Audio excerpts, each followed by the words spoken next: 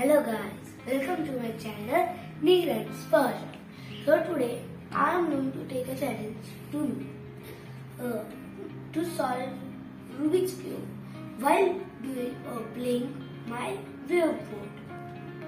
So what are you waiting for? Let's start. But first, let me scramble. My Rubik's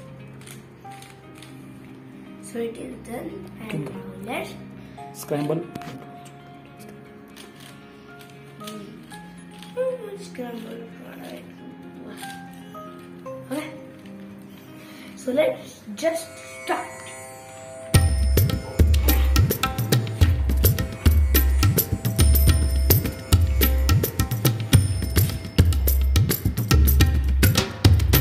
So after each step